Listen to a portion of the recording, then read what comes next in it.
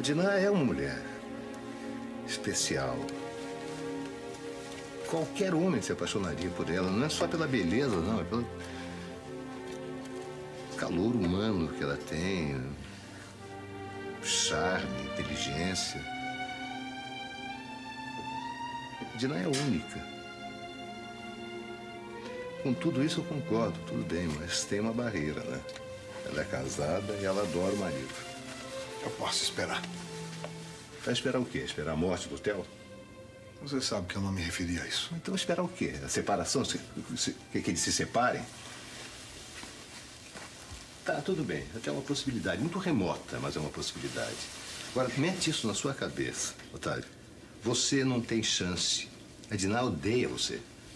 Alberto, eu tenho quase certeza. Eu já conhecia Diná numa vida anterior. Você, você não acredita nisso, Otávio? Tá. Tá, e mesmo que fosse verdade, o que, que tem de mais? Se a Diná e o Theo se separarem, o que vai ser lamentável, você é carta fora do baralho.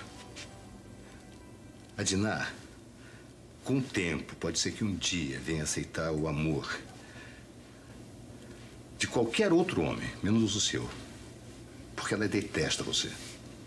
Eu amo. Mas ela não pode ver nem a sua sombra. Ela não pode ouvir seu nome, ela odeia você. Isso aqui é um conselho, um conselho de amigo mesmo. Esquece, Edna, esquece mesmo. É impossível, Alberto. Mas você tem que esquecer, Otávio. Ela nasceu pra ser minha. Tá, eu não concordo.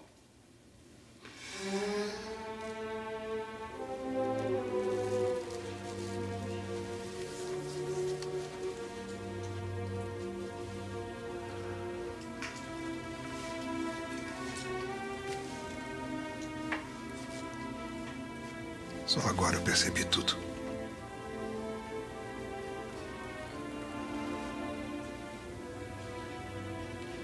Desculpe.